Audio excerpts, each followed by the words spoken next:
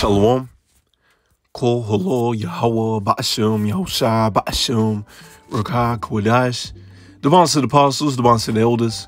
At Great Millstone, Ruel tells his truth. Much respect to you brothers out there preaching his word and truth and sincerity throughout the four corners of earth. Tabernacle David, hopefully like and speckled bird, I want to say shalom.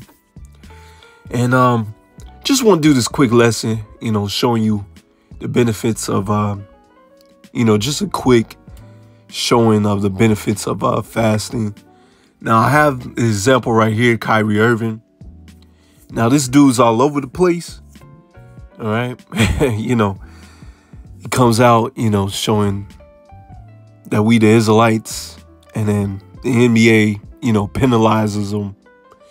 And then he comes out, you know, following the ways of the Muslims, giving money to uh, the Muslims, if I'm not mistaken. You know, so this dude's this dude's all over the place, man. All right, and, and uh, you know, in in this in this walk of ours, man. You know, if the Lord's dealing with you, there comes a point in your walk where you're not all over the place, where you're not following all these different camps, all these different religions. When, when the Lord's dealing with you, He's going to lead you to the man of great millstone. All right. He's to lead you. Hey, hey, these other camps ain't to like it, but the Lord to lead you to the man of great millstone. And to see that they have the truth. All right. But, um, yeah, once again, this man's all over the place. So he's apparently, instead of following his roots as an Israelite, all right, because he is an Israelite, he's following, uh, uh, apparently, all right, from what it seems like, following another god of wood and stone, all right, fasting for Ramadan, when he should be, all right, when he should be celebrating or following, all right, because it's not a, uh, it's not a party.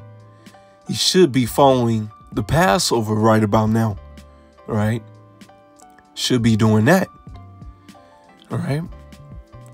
But uh, you know, I got I got these examples right here. You know, I don't know if this was uh, early last year, late last year, or whatever. You know, he pretty much shaved his beard off. You know, like I said, this this man's all over the place. If he if he was in his truth, he would know not to do that. Now, if you want to cut your beard low, now I wouldn't say like very very low, but you know, you you can cut you can cut your beard. You ain't got to have like a, a huge huge long beard, but if you want to cut your you know beard low, you you can do that but don't shave it off. Right. Which studies have shown, you know, if you get in a fight as a man, if you get in a fight, you know, one of the reasons why we uh, grow a beard is when you get in a fight, you know, you get hit in the face and you have no beard. I forget the metrics, but um, you're more likely to get your jaw jaw broken, man. All right. So men, you know, it's it's a badge of honor you know, it's something that we wear and we're supposed to have. Hey, look at the male lions, man. You know, it, it offers them protection as well. It shows a distinction who who's the male lion and also offers them protection when they're fighting other male lions for the pride. All right. Who's going to be the ruler over the pride? You know, so, you know, you can look it up yourself, just, you know, the many benefits of a man wearing a beard. You know, of course, Esau Edom, don't be surprised if Esau Edom come in and try to tell you, you know, nah, a man shouldn't have a beard. It's unclean. No, a man's supposed to have a beard on his face. Right? Like I said, this man's all over the place. It's 1 Corinthians 14 and verse 33. For power is not the author of confusion, but of peace, as in all the churches of the saints. Now, this man may get it right, he may not. But looking at it, looking at his trajectory, he's still all over the place, man. He's still all over the place. Because there's brothers that have came into this truth. You know, they could have made it to the NBA, NFL, or whatever talented position out here in the world, and they chose this truth.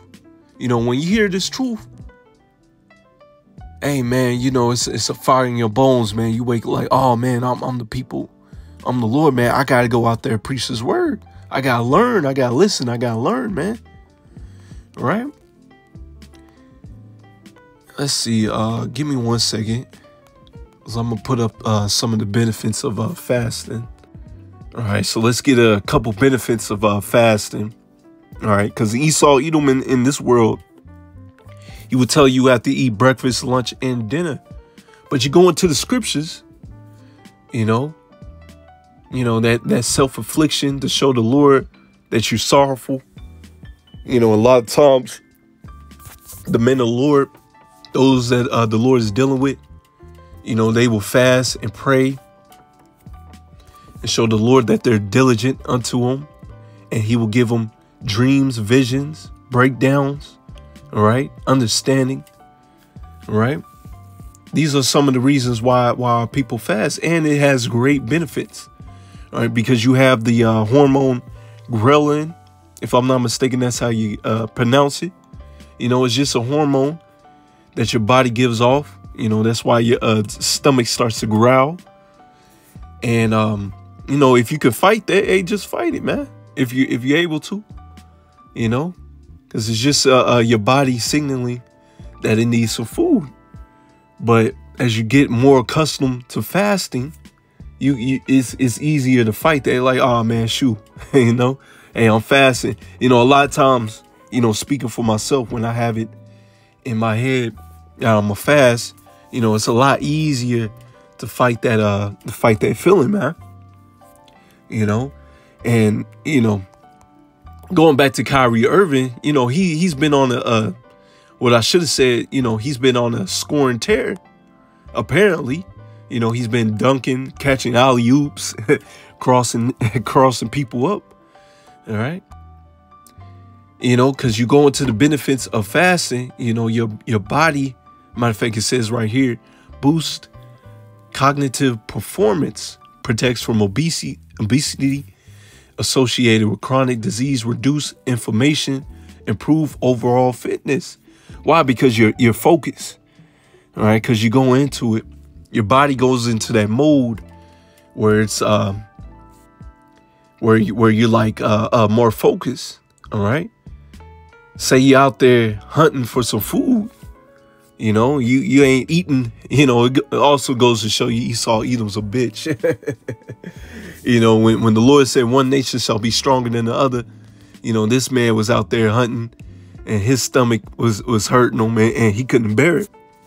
But us as the Israelites, you know, it's, it's a benefit unto us, you know, because you you you're able to perform at your highest level. You you hey, you don't have that brain fog. Your body starts to um slack you. You uh, you're more focused. You're more focused. And if you have to go out there and hunt some food, you're able to do it in a very efficient way. All right. Let's see, intermittent fasting, you can do that as well. You know, if you first if you first starting out with fasting, you do an intermittent fasting. All right, fast for a couple hours. You know, that way you can build up your body to fasting longer. You can do a water fast. All right, you can do it like that. But ultimately, you know, if you're able to, all right, if you are able to build up your body to where you're able to fast for a whole day, maybe a couple days, you know, especially in these times, right? Which I have a couple scriptures, even our forefathers, Yahushua, and also have uh, Moses. You know, they fasted for 40 days and 40 nights. Sheesh. And, and you go into uh you know this this day and age, you have a couple pastors that try to do that, which goes to show you ain't no power in the name of uh cheese and rice. All right. You know, the Lord ain't with them. They end up passing away. They end up dying, man. but anyways, it says uh insulin resistant and lead to an, an impression reduction in uh, blood sugar levels. Because also you go into it when you constantly feeding your body with food and food. You know, you you you're, you're spiritually fat, man. You're physically and spiritually fat, man. Because you also go into uh, the benefits of fasting. All right, your body is not shedding those cells over and over again. All right, because uh, I give you a few examples. Animals, that you know, you gotta look it up. There's a couple animals. Hey, there's a lot of animals, I should say, that uh, can go for days, weeks, months without eating or drinking. And guess what? There's some of the there's some of the longest living animals, all right? And going back to us, right, when you fast, when you're not constantly feeding your yourself food over and over again, all right, your body is able to clean out all those toxins. Right? Is able to clean out all them toxins and um it's not constantly reproducing all these cells over and over. All right? It's keeping the cells. All right? And that way you can live a lot longer. All right? So yeah, hopefully, you know, this is edifying so far. It says uh, also boosts working memory in animals and verbal memory in uh, human in uh, adult humans. Right, uh, blood pressure, res- uh, resting heart rate, as well as other heart-related measurements. So yeah, you know, look it up, man. It's a lot of benefits from fasting. And uh hey, fasting is part of our heritage. It's something that we do. Right? It's something that we do. You know, because once again, Esau Edom will tell you, hey, eat breakfast, lunch, and dinner. now, the Lord say, hey, it, it's good for you to fast, man. It's good for you not to eat constantly all throughout the day, man. You know, if you can help it. Anyways, let's get a couple scriptures and we'll go ahead close out. Joel 2 and verse 12, therefore also now Save the Lord Yahweh Shemel Shah. Turn ye even to me with all your heart, and with fasting and weeping and with mourning. You see, it's part of our heritage. This is part of us, you know, self affliction, you know, righteous self affliction. All right. Because you have those wicked ass people that might hear, oh, self affliction, you know, start cutting themselves and all that stuff. No, righteous self affliction by uh, uh, not eating, but not drinking.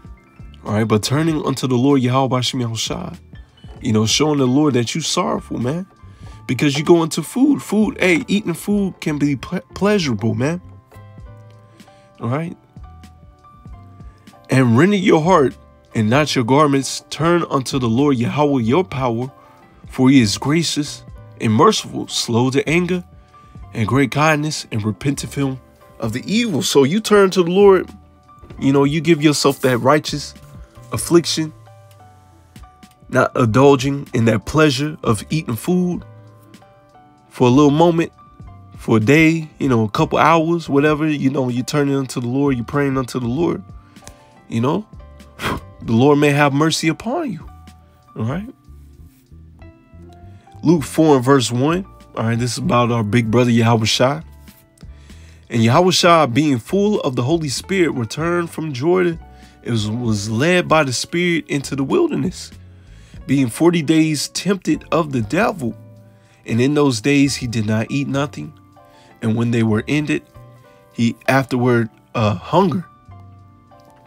And the devil said unto him, If thou be the Son of God, command the stones that it be made bread.